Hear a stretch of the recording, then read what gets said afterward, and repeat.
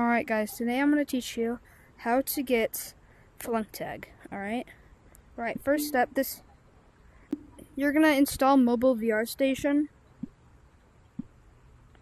Uh, yeah. Alright. Yeah. So, also, the game is in my Discord or in the description below. Or it's in my latest post. Uh, yeah. So you're gonna go to local files, all files, um, Android, data, scoped storage actions, request access, uh, quest three.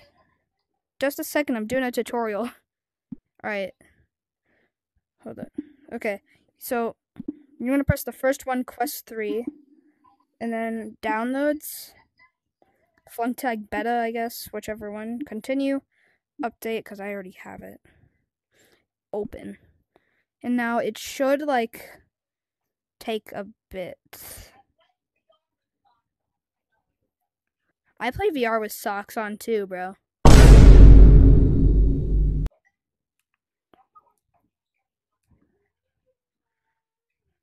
Hold up.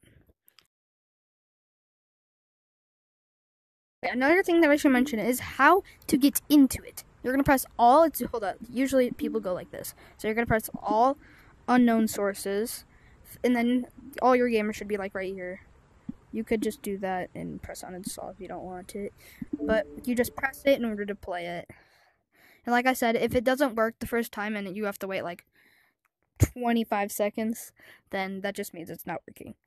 Alright, this is the game that I made. There's way more coming soon. Yeah.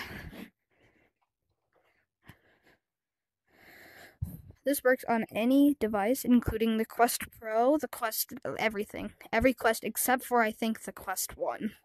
Because Unity doesn't have that, which sucks.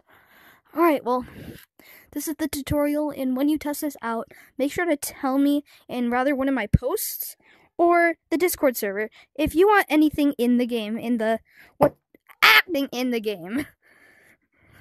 So, yeah, make sure to like and subscribe because we're so close to 500.